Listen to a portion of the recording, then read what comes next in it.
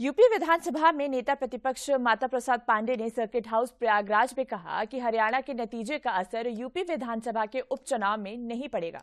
उन्होंने कहा कि यूपी और हरियाणा की परिस्थितियों में काफ़ी फ़र्क है। उन्होंने कहा कि कांग्रेस के साथ मिलकर हम उपचुनाव लड़ेंगे और सभी सीटों पर इंडिया गठबंधन की उम्मीदवारी मजबूती के साथ चुनाव लड़ेंगे। उन्होंने कहा कि यूपी में इंडिया गठबंधन लोकसभा चुनाव से भी बेहतर प्रदर्शन करेगा। बीजेपी को एक बार फिर हार का सामना करना पड़ेगा। विपक्ष के नेता माता प्रसाद प्रसाद पांडे ने प्रयागराज की जेल में बंद समाजवादी पार्टी के विधायक जाहिद बेग से भी मुलाकात की।